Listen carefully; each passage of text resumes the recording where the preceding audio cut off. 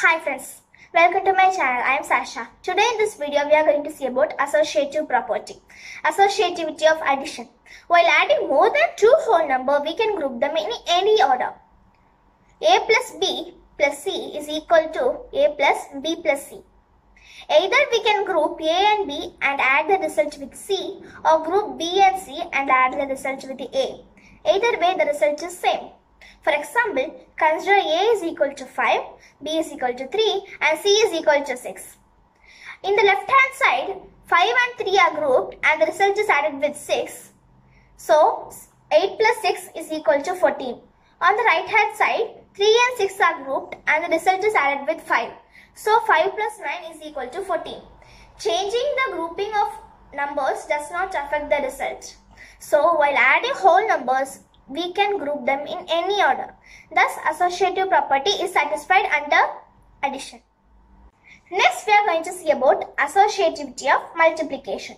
While multiplying more than two whole numbers, we can group them in any order.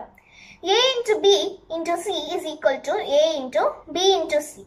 Either we can group A and B and multiply the result with C or group B and C and multiply the result with A.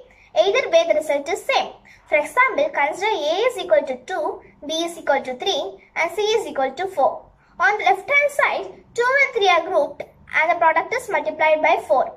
So, 6 into 4 is equal to 24. On the right hand side, 3 and 4 are grouped and the product is multiplied by 2. So, 2 into 12 is equal to 24. Changing the grouping of number does not affect the result. So, while multiplying whole numbers, we can group them in any order. Thus, associative property is satisfied in case of multiplication. It is important to remember that subtraction does not satisfy associative property. Likewise, division does not satisfy associative property. We can conclude that associative property is satisfied for addition and multiplication.